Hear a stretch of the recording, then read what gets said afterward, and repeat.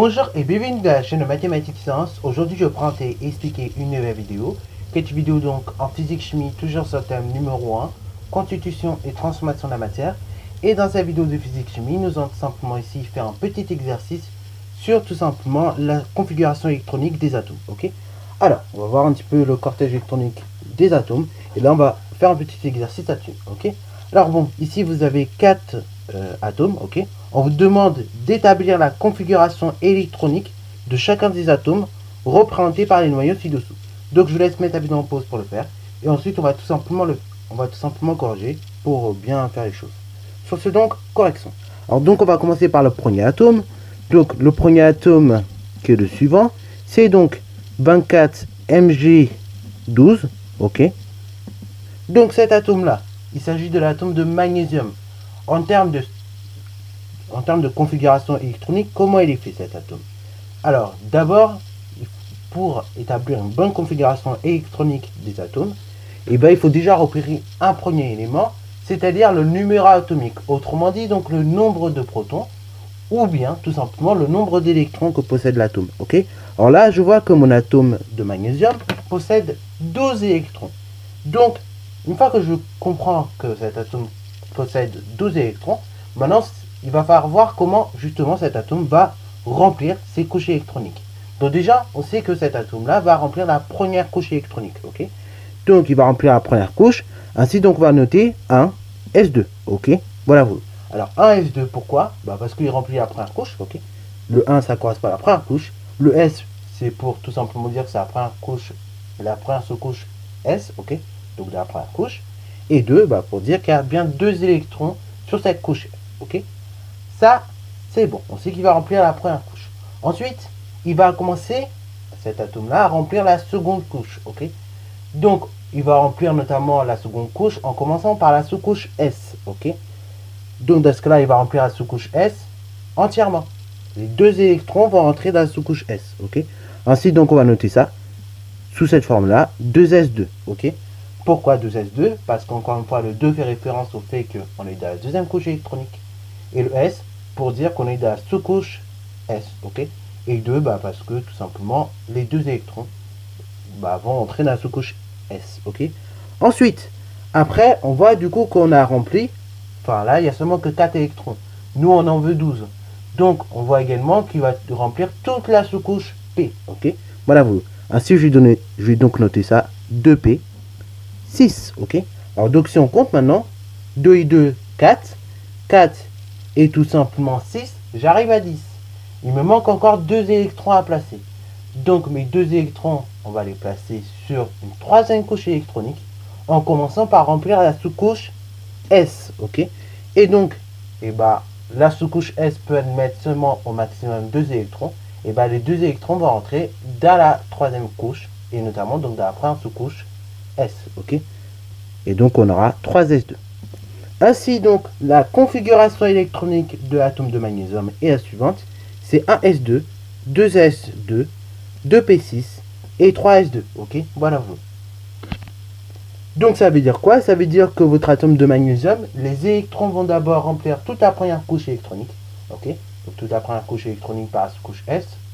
Ensuite, il va, cet atome de magnésium va remplir toute la sous-couche, enfin toute la deuxième couche électronique, en commençant par remplir la sous-couche S avec deux électrons, puis la sous-couche P avec les six électrons. Et pour terminer, et eh ben, votre atome de magnésium va tout simplement remplir la troisième couche électronique en commençant par la sous-couche S, en imitant donc les deux électrons qui restent. Ok Voilà vous. Donc on va faire de même avec cette fois-ci l'atome de chlore. Ok? Donc maintenant je pense que vous avez compris le principe. Donc l'atome de chlore, on voit que directement il a 17 électrons. Donc on va pas se prendre la tête. On va faire un peu comme tout à l'heure. Ok? Il a 17 électrons. Déjà on sait qu'il va remplir d'emblée la première couche électronique. Ensuite, également, bah, 17, Là, j'ai positionné que deux électrons. Donc, il va remplir également toute la seconde couche électronique.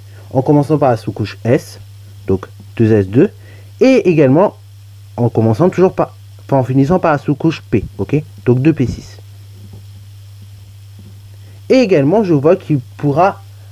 Enfin, il va rester logiquement des électrons à mettre dans la sous-couche S de la troisième couche électronique. et de la sous-couche P de la troisième couche électronique. Alors donc là, si on fait le calcul, on voit qu'on a déjà placé 10 électrons. Il en manque plus que 7, ok? Voilà pour l'atome de chlore. Donc ça veut dire qu'il va remplir intégralement, donc dans la troisième couche, la sous-couche S. Et par contre, au niveau de la sous-couche P, on peut y mettre au maximum 6 électrons, ok? Et là, bah, du coup, il nous reste 5. Donc les 5 électrons vont tout simplement remplir la sous-couche, la sous-couche qui reste, donc la sous-couche P, Donc ça donnera 3P5, ok? Ainsi donc pour votre atome de chlore, sa structure électronique est 1s2, 2s2, 2p6, 3s2 et 3p5, ok? Voilà, voilà. Donc ça veut dire quoi? On va essayer de comprendre. Ça veut dire donc que votre atome de chlore va d'abord remplir, comme je vous disais, ces deux électrons, enfin, deux premiers électrons vont remplir la première sous-couche S, ok, la première couche électronique S. Ensuite, votre atome de chlore, il va remplir sa deuxième couche électronique en commençant par la sous-couche S, ok, voilà, voilà, en y mettant deux électrons. Et ensuite, six électrons, donc, iront sur la seconde couche électronique, et notamment donc en passant par la sous-couche P. Après, pour ce qui reste donc de la sous-couche, enfin de la troisième couche électronique, et ben votre atome de chlore va commencer par la remplir, à la remplir en commençant par la sous-couche S, donc en émettant deux électrons, et ensuite elle va mettre le reste des électrons qui restent, donc 5 électrons, dans la sous-couche P, ok, de la troisième couche électronique. Alors, du coup, on va continuer à faire de même avec le troisième atome, qui est l'atome d'argon, ok Donc l'atome d'argon 40, 18, AR. Alors, du coup, on nous demande pareil d'établir la configuration électronique de cet atome. Donc, l'appareil, déjà, on sait qu'il va remplir cet atome, bah, la première couche électronique. Ok, donc on aura 1 et 2, on aura deux électrons sur cette première couche électronique.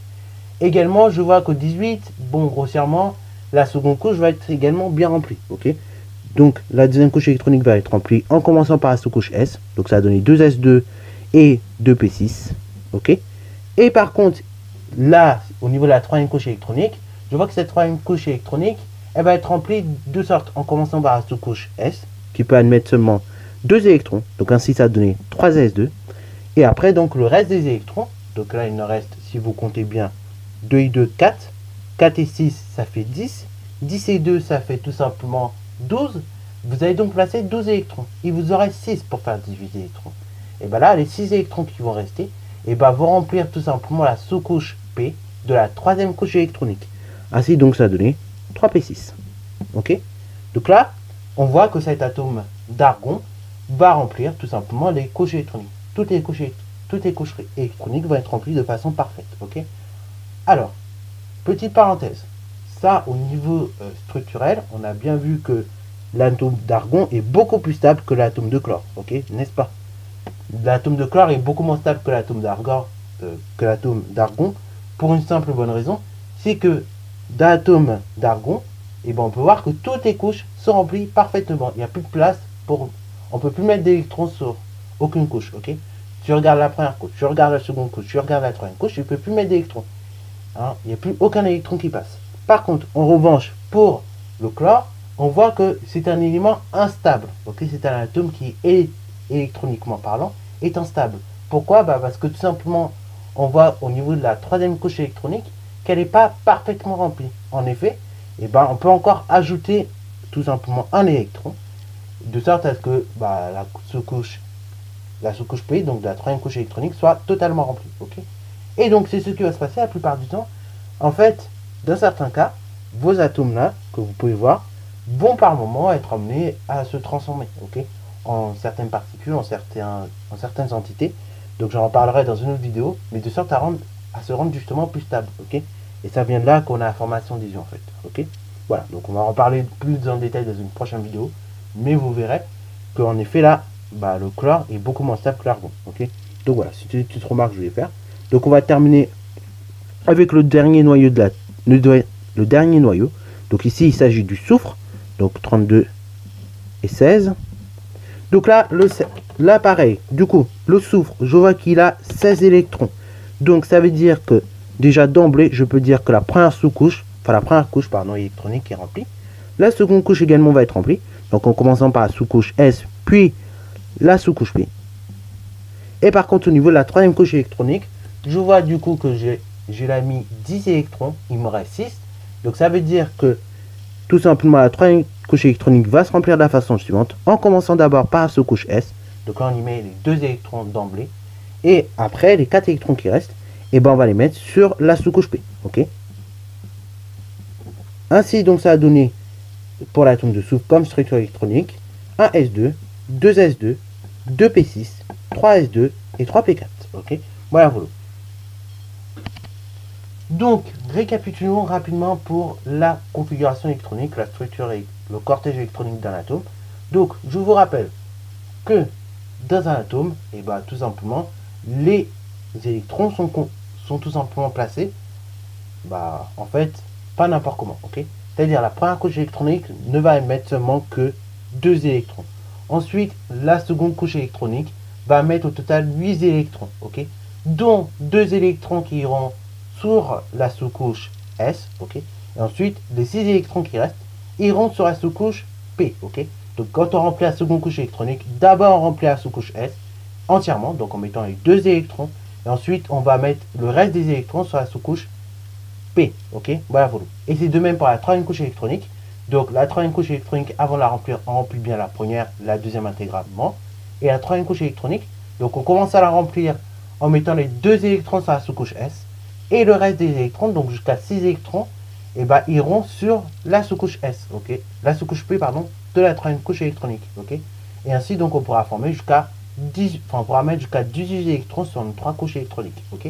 Alors après, si vous regardez vos tableaux périodiques, et eh ben en fait, le nombre de périodes, ok, voilà, va vous indiquer tout simplement le nombre de couches électroniques que l'on peut former. Donc vous avez des couches électroniques parfois qui sont bien plus longues que ça. ok? Des couches électroniques, on peut mettre jusqu'à 18 électrons. ok? 17, 18 électrons. Là, pour l'instant, sur les atomes que nous formons, on peut en mettre jusqu'à 8. Mais après, bah, plus on grandit dans le tableau et plus on peut mettre en fait des électrons. ok? Voilà, voilà. Donc sur ce, c'est la fin de cette vidéo. J'espère qu'elle t'a plu. Si c'est le cas, n'hésite d'ailleurs pas à la liker, commenter et bon installateur en mathématiques et en sciences.